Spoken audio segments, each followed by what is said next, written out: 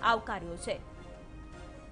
શહેરમાં છેલ્લા પંદર વીસ દિવસથી સતત અઢીસો થી ત્રણસો જેટલા પોઝિટિવ કેસો આવી રહ્યા છે. શરૂઆતના તબક્કામાં જ્યારે આ સંક્રમણ વધતું હતું, ત્યારબાદ લોકો લોકડાઉનના કારણે એક આર્થિક સંકટ ઊભું થયું હતું અને તેના કારણે જે ફૂડ સંચાલકો છે તેમના દ્વારા સતત સરકાર પાસે ફૂડ પાર્ક ચાલુ કરવાની માંગ કરી હતી અને સરકારે તેમની માંગને ધ્યાનમાં રાખીને ફૂડ પાર્ક શરૂ પણ થયા હતા. પરંતુ અત્યારે મહત્વની બાબત એ છે કે સતત વધતા સંક્રમણના કારણે ફૂડ પાર્કના જે કેટલાક સંચાલકો છે તેમના દ્વારા અચોક્કસ મુદત માટે બંધ કરવાની એમણે વાત કરી છે એ પ્રકારનો નિર્ણય કર્યો છે, આપણે એમની સાથે વાત કરીએ.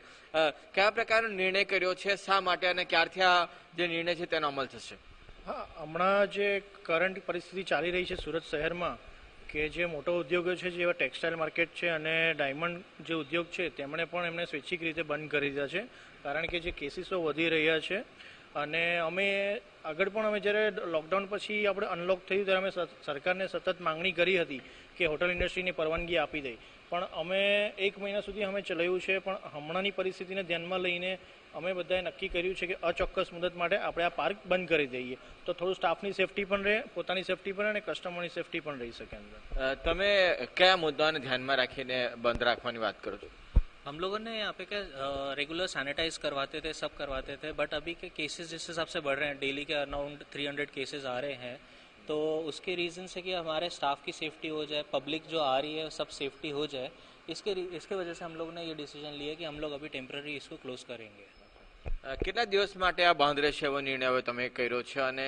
કેવી સંજોગોની અંદર શરૂ થઈ શકે હવે સંજોગો તો હમણાં કહી નથી શકતા આગળ કઈ રીતે ચાલશે શું ચાલશે. કારણ કે આજે જે હોસ્પિટલોમાં જે તકલીફો પડી રહી છે, સરકારની કેપેસિટી પ્રમાણે વધારે આજે કેસો આવી રહ્યા છે. બધા હેરાન થઈ ગયા છે. અમારા ફેમિલી પણ ગભરાય છે કે તમે આજે બિઝનેસ કરો છો. પણ તમારી સાચવણી ને એ બધું શું? આજે સ્ટાફ છે અમારા. તો સ્ટાફ માટે પણ બહુ જરૂરી છે કે એને અમે સાચવીએ, અમારા કસ્ટમરને સાચવીએ અને જે લોકો અમારી ત્યાં આવે છે મટીરિયલથી માંડીને બધી વસ્તુ માટે એ બધું સાચવવું બહુ જરૂરી છે એટલે અમે આજે આ પગલાં લીધા છે કે ભાઈ ટૂંક સમય માટે અમે બંધ કરીએ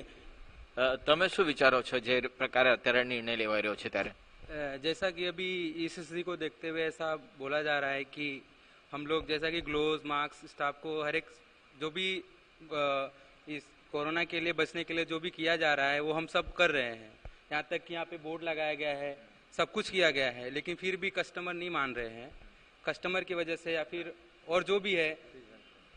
ज़्यादा ज़्यादा ज़्यादा से ज़्यादा लोग एक जगह पे इकट्ठा हो रहे हैं उसको ध्यान रखते हुए इसलिए हम लोग संचालकों ने सब ये निर्णय लिया है बंद करने का અ, તમે શું માનો છો એ જે નિર્ણય લેવા પાછળનું કારણ શું છે અમારા એરિયામાં એક તો ફૂડ સ્ટોલ વધારે છે એટલે અમે એવું વિચાર્યું છે કે અમારા સ્ટાફની અને અમારી જે સિક- સેફટી રહે અને કસ્ટમરની એટલા એટલા માટે અમે બંધ કરી રહ્યા છીએ આ સ્વૈચ્છિક મુદત માટે કે બધા સ્વસ્થ રહે હેલ્ધી રહે.